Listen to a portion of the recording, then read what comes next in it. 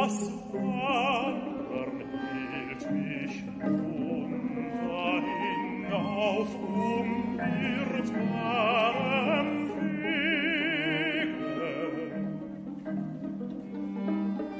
Die Füße frugen nicht nach Rast, es